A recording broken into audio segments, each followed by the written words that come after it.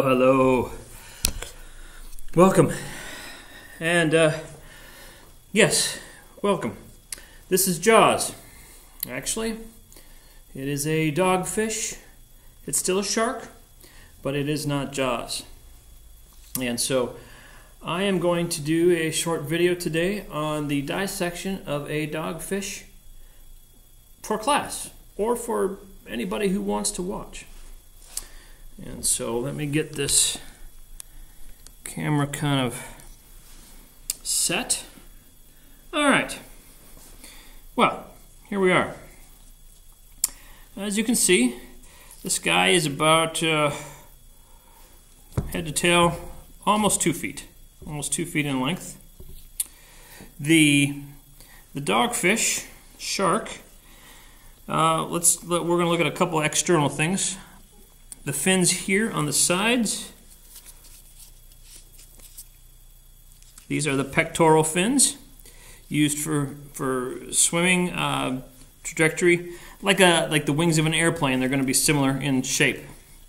It also has another set of fins back here, a little bit harder to see. These are the pelvic fins, one on each side. So you've got two sets there. Then you've got on the top here a dorsal fin and another dorsal fin. The characteristic, you know, sharp triangle out of the water. So you've got this one and this one. Uh, this one actually has little spikies on it. It's it. I don't. It's hard to tell, but they're actually uh, poisonous if you were to to somehow get your finger poked. Anyway, yes. And so, and then there's actually the the caudal fin here at the back. All right. It's hard to see, but there are five gill slits right here. On the other side as well, along with the eyes. The good old nose, the rostrum. All right. The uh, underneath here, you can see there's there's two holes here. There's actually actually four, and those are going to be uh, I guess the nostrils is what we could call them, the nares. And so they allow the, the smell. The water will go through the smaller of the two openings and then come out the back and it flows over a, a membrane. And what happens is that's the olfactory gland, like our nose. And so the shark will be able to detect uh, blood or whatever else in the, the water. Behind the eye here, there is a small hole, and that is called a spiracle. Uh, there's one on each side. It's, yeah, it's hard to see because the skin's kind of covered. But these uh, would allow the fish to to breathe uh, even if its mouth is not open. So the mouth is closed, water would still flow in, it would flow over the gills, and then out. Again, the gills we know for fish, they take the oxygen out of the water to breathe. The fish would also be able to open its mouth, which looks like he's frowning. It's hard to see on the camera, but there are a number of little teeth. Again, it's hard to see. But uh, yeah, so just like a big shark, uh, this one would hurt. You know, if you if you actually got bit by it.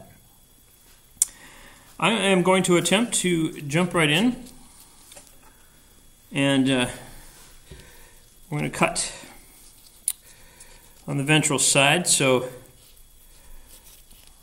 right approximately.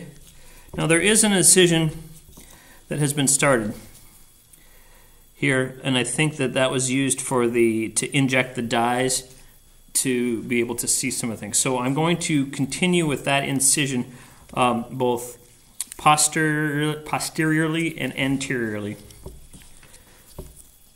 Yeah, I can say those words. It's kind of goofy. Come on now. He's stiff. it's hard to kind of get a good. It's very plasticky, like like hard rubber almost. A little bit of sandpaper texture, kind of not not smooth as it might look, but it is a little bit on the rough side. So I did purchased some new scalpels. And so that definitely is a good thing if you're trying to dissect. If you've got nice sharp tools to be able to to cut through the skin.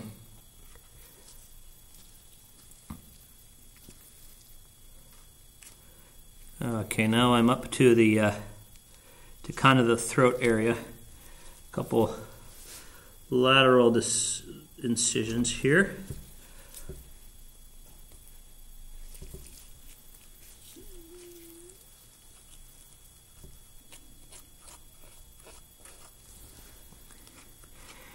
It doesn't smell too bad. It doesn't smell good. But it, it doesn't smell too bad. There's a little bit of uh, cartilage. There we go. Cartilage. Kind of, kind of being a little bit of preventative from all right. Going to see some organs here very soon. Uh, shark anatomy is is not a whole lot different from humans as far as some of the major organs and internal organs. So so that's part of why these little guys are, are useful in education so that we can learn about that. Should have stopped the video, done this, and then come back, but that's all right. It's an education. Yeah, this this the skin part. This would be the the flesh part that we that we would eat if we were to do so. And in in some countries, this uh, this would definitely be something that would be caught and eaten. Okay. First of all, I want to, to note now you see, see the red in here? That's going to be the gills. That's right, right underneath the gill slits. And that is going to, those are going to be very fleshy, uh, feathery like. Again, so that maximum surface area so that the water will come in and flow over all of those gills and the oxygen could be could be absorbed. Again, not entirely, not too different from from what we are and how we do these things. I'm going to get a couple of pins here and see if I can't uh, slow this guy down. There we go. Always wear gloves. I guess it wouldn't hurt to wear safety goggles too, just so that if there are, is some splatter or that kind of thing, you don't get preservatives and things. Yeah. Anyway. All right. So you're going to notice right here these big, uh, brownish, whatever they are. It's going to be liver, like a tan brown. Very, very big parts of this liver here and how they, they almost cover the entire thing. All right. So these are the, the livers here. I'm just kind of peeling these back. Now you've got a kind of a, a little mass in here of, of various things. One might guess what they are. So yes, the liver. It's got three lobes. Two of these go the whole way the third lobe is smaller and it contains the gallbladder, which is green. And I am a well greenish. Yeah, I, I, it, it's back here. It's hard to hard to see. So now you think, oh, the stomach that should be a big thing, right? Well, the esophagus you know, for, uh, for illustration's sake, let's take this liver out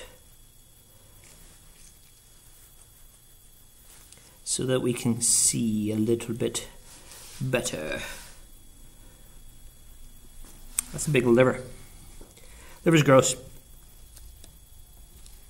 Liver is gross. But anyway.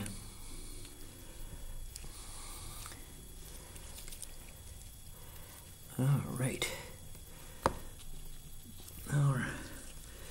Getting into getting into things here.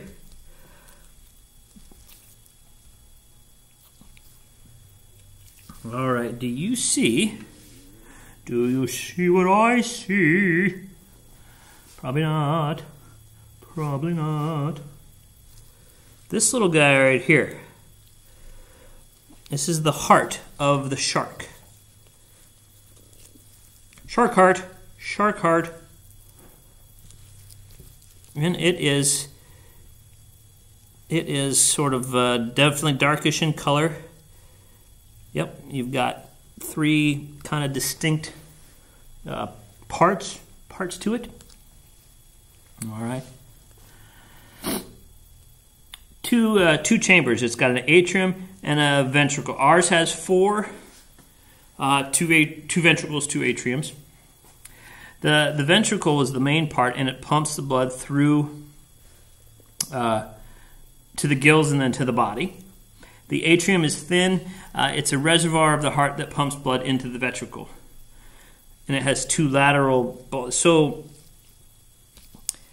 the little brown part on the side, the darker of the two sides, that is the, the um, atrium. This central part in here is the ventricle.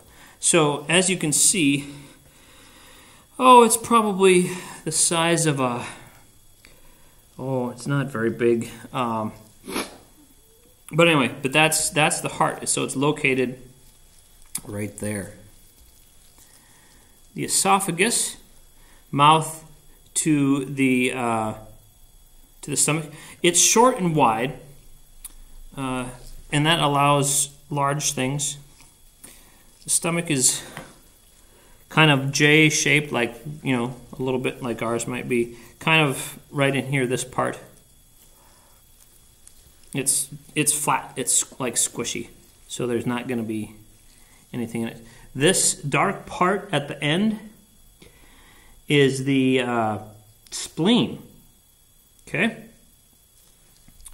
and so stomach, spleen. You've got the liver here. These little guys back here. Ooh, what are those guys? Those guys I'm checking my guide here. Um, well, we'll get to this. This part right here, it's this is the intestine, uh, the spiral intestine is what it's called, uh, and it has has rings on it, which I don't know if you can see by the camera, but there's there's definitely rings here. Uh, again, you got the idea. Extensive artwork of veins and arteries. Um, if we cut that part open, we'd be able to see the spiral the spiral nature of it. Well, I don't know if you can see it. Plus, there's junk in here. So I'm not even going to bother. But anyway, that's that's the intestine. So you can see the, the liver here, how big it is. The intestine is fairly large. Then you've got, again, this small little heart up here.